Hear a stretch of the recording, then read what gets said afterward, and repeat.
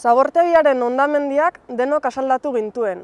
Nola izan zitekeen posible Euskal Oasian bizita zaborra artean itotzea? Nola izan zitekeen posible zabortegira gezur formako zabor gehiago isurtzea? Diru goseak, agintekeriak eta botere gehiagikeriak agintzen duen mundu honetan gizatasun uarte moduan jaio zen zaldibar argitu. Zenidei babesa eskaini, herritarren aserre antolatu eta geure bizitzak eta inguru naturala balioan jartzeko. Hainbeste juntasun, informazio lauso eta keren artean argi puntu bat jartzea bilatu dugu, kaleak herri indarrez piztu eta zaborrezko munstroak eragindako arrangurari erantzun kolektiboa emateko. Aitortza hau gure ekimenari egin badiote ere, herriz herri lanean aritu diren kide guztiena, manifestazioetan parte hartu dutenena, balkoietan banderolak jarri dituztenena eta Euskal Herri osotik ona gerturatu eta elkartasuna erakutsi digutenena ere bada.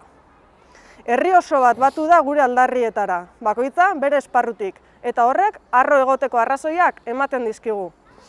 Garbi daukagu bakoitzaren ekarpen txiki horiengatik ez balitz, ez genukeela hartu genuen dimentsioa hartuko, ez eta horrelako oihartzunik izango ekintza kolektiboan sinetxi eta modu batera edo bestera parte hartu duzuen guztiontzako da beraz gure eskerra.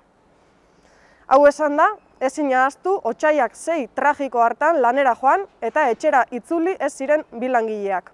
Amaika hilebete hauetan egin dugu moduan, gaur ere gure oroimena Alberto Sololuze eta Joaquin Beltran entzat, eta gure elkartasun, babes eta maitasun guztia bere zenide eta gertuko entzat.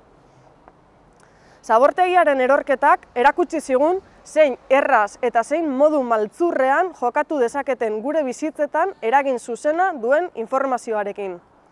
Keak itotzen gintuenean, mesua, lasai egon, airearen kalitatea ona da, izan zen.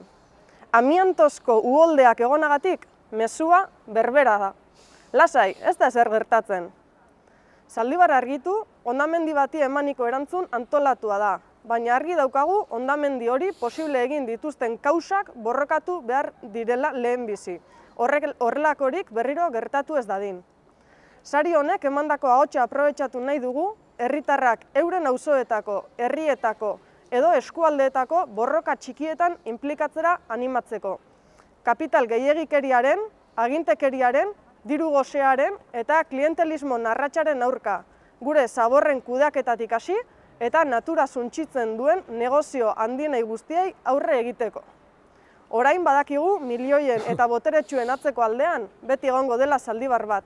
Euren zaborrak alfombra azpian gordetzeko zulo ikusezin bat. Ez diesa egun utzi.